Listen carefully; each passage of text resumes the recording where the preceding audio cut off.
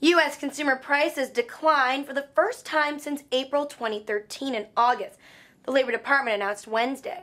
The consumer price index dipped 0.2%. A decline in energy prices of 2.6% offset increases in food and shelter costs.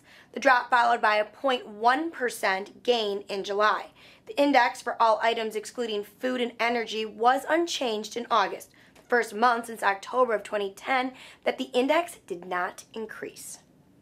NASA awarded Boeing and SpaceX to build commercially owned and operated space taxis that will fly astronauts to the International Space Station, ending U.S. dependence on Russia for rides, U.S. Senator Bill Nelson said on Tuesday. Escalating tensions with Russia over its annexation of the Crimea region of Ukraine, as well as sanctions enacted against the country, have given a new urgency to the contract. Boeing CST 100 spaceship would launch aboard Atlas V rockets built by United Launch Alliance, a partnership of Lockheed Martin and Boeing. SpaceX, which already has a $1.3 billion NASA contract to fly cargo to the space station, intends to upgrade its Dragon freighters to carry astronauts, the Associated Press reports.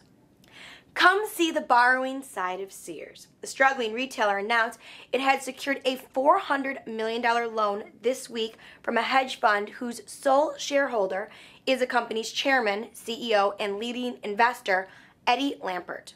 Sears, which lost $1 billion during the first half of the year, said in a statement to CNN Money that the deal does not create a conflict of interest as it is in the best interest of the company. Reporting from Millionaire Corner, I'm Heather Kiley. Thanks so much for watching.